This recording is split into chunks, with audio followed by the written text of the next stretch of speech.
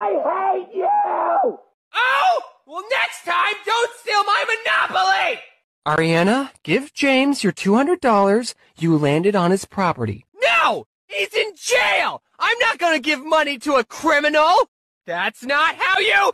Bye! Mommy, why is brother screaming? Shut the hell, you don't get to talk after stealing my last railroad! I wish I was never born! Me too! You think I wanted this?